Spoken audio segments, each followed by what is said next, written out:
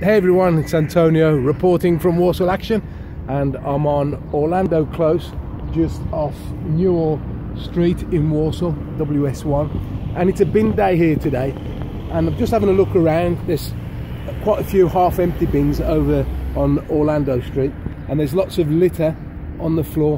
And what um, bin day litter pick is all about is just to go around and pick up all these little bits of rubbish and just put them in those half empty bins. I'm going to spend the next half an hour or so doing that. Um, I don't live in this area but I want to see Walsall looking absolutely beautiful. And as I'm walking up here now you can see behind me um, bits of um, litter. There's some on the floor there.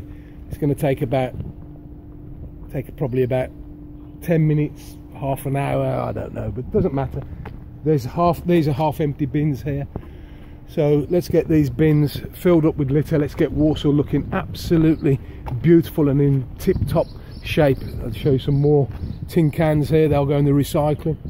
And it takes a few minutes. I've got some gloves and litter pick, um, pickers in the car.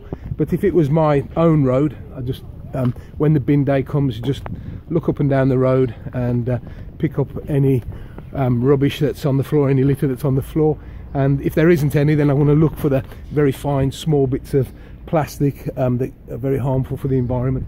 But come on everyone let's get Walsall looking absolutely beautiful. And uh, I'm going to start right now. See you later. Bye bye bye